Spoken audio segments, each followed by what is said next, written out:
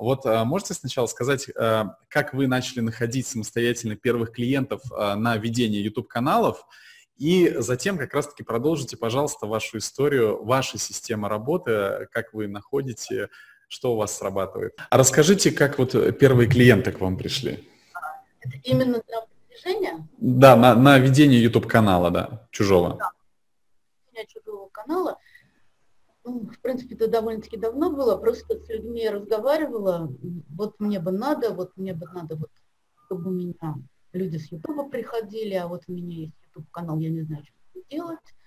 Вот, просто беседовали с кем-то, вполне возможно, даже по другим каким-то темам, там человеку надо, например, было а, продвинуть его там курс, и когда мы с ним говорили, то есть каким-то образом мы с ней выходили на связь, она мне рассказывала, что и как, я говорю, а что, что есть? Она говорит, да вот у меня есть канал YouTube, я с ним не знаю, что делать. Я говорю, ну давай будем, посмотрим, посмотрим. Начали продвигать, начали люди приходить оттуда. Вот. А, то есть э, э, у вас на какой-то почве в онлайне э, вы вступили в диалог с человеком, а человеку какие-то были к вам вопросы, а вот как эти люди вас находили? Через что? Может быть, вы какие-то объявления размещали, может быть, э, через ваш канал. То есть вот как завязывалась коммуникация? И через канал, и через э, соцсети, и через совместное какое-то обучение. Потому что ну, я себя еще позиционирую как э, ну, преподаватель, будем так говорить, как тренер, бизнес-тренер. Uh-huh. Я обучалась с кем-то на бизнес, каких-то бизнес-тренингах, там были люди, которым нужно нужно было именно Ютубом заниматься. Я понимаю, что это не для всех такой поиск ну, да. идет. Первых людей, то есть тут самое главное найти каких-то первых людей, с ними надо как-то завязаться. Я пробовала разговаривать, просто находить каналы, которые, ну, явно хорош, хорошего автора, но мало раскрученные, пробовала предлагать. И даже был у меня такой случай, я записалась на, на курс, и у меня что-то там не прошла правильно оплата, и я стала переписываться. А у меня в письме, то есть в подписи в письме написано, что я специалист по Ютубу.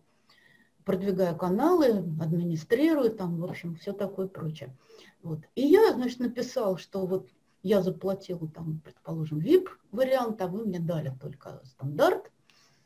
Вот. И у нас такая переписка была, и мне вдруг это э, говорят, а вы действительно специалист по YouTube? Да, мы ищем специалиста по YouTube. Вот. И я полтора года там проработала, потом немножко разошлись в понятиях, так скажем, и разбежались. Правда, очень хороший отзыв оставили. Благодарю. А Какие еще способы? Вот э, мы можем с вами уже выделить, что у вас сработало в нахождении клиента. Это живое общение, то есть это какие-то деловые круги, где вы оказываетесь и знакомство, чем занимаетесь. Я специалист по YouTube, и оно как-то само. Второе, сработала подпись а в почте. Можно это приравнять к тому, что если ты специалист по YouTube, обозначь во всех своих соцсетях и везде, где можно, а, напиши об этом, да. А, и треть, угу, да. Почему-то больше всего срабатывает почта.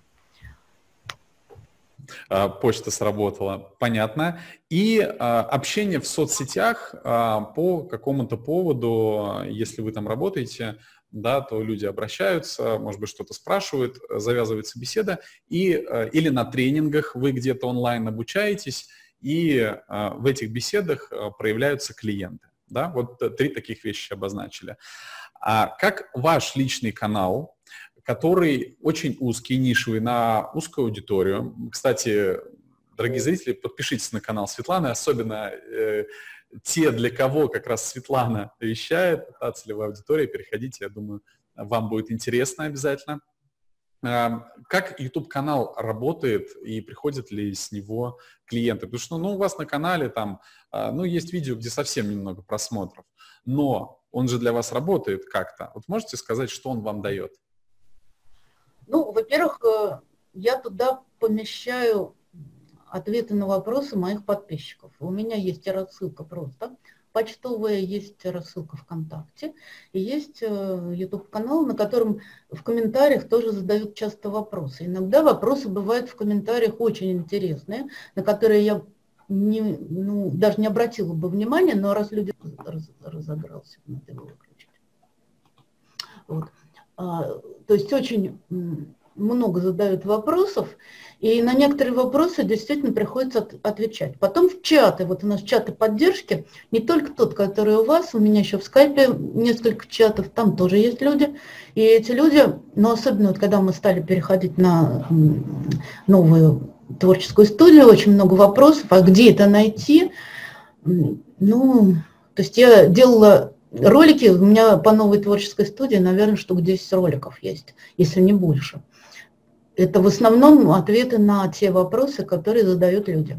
И вот э, дальше начинается уже, то есть кто-то в скайпе пишет, кто-то из моих друзей, ну, реальных друзей, с кем я общаюсь, говорит, а ты знаешь, вот ко мне тут обратились, не знаю ли я кого-то, я тебя порекомендовала, ты как? Я говорю, ну давай поговорим. Как правило, тоже вот завязываются отношения.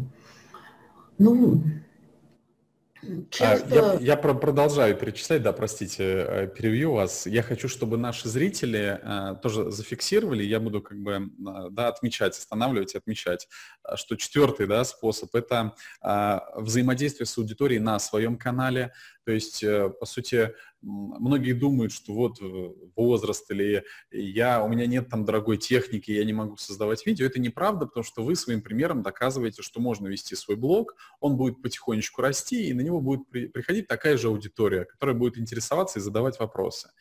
А, пятое – это общение а, в чатах и сообществах, особенно когда на YouTube какие-то перемены. А, если кто-то уже знает, что у вас есть YouTube-канал, если до этого он не обращался, а он не знает, как поступить с новой функцией, как подключить монетизацию, он сразу идет к вам, потому что он знает, что вы YouTube. И шестое – это ну, нетворкинг, это знакомые знакомых. Опять же, важно, чтобы все знали, что вы специалист по YouTube, и тогда уже, если кто-то что-то из знакомых услышит, он порекомендует именно вас. Да, так, это тоже срабатывает очень хорошо. Угу. Мы просто копим уже вот э, 6 да. пунктов. Потом у меня еще было порядка, наверное, 400-500 учеников вот в этой школе бизнеса. А, ну, не все загорелись идеей Ютуба, конечно, но они, по крайней мере, у них отложилось в голове, и некоторые даже через 3-4 года обращаются с тем, что вот им надо помочь там что-то сделать на Ютубе, а некоторые тоже рекомендуют. То есть это тоже источник неплохой. Угу. Что бы вы могли посоветовать э, пенсионерам, которые обучаются на менеджеров э, YouTube, которым а, однозначно сложно найти э, клиента? Вот ваше видение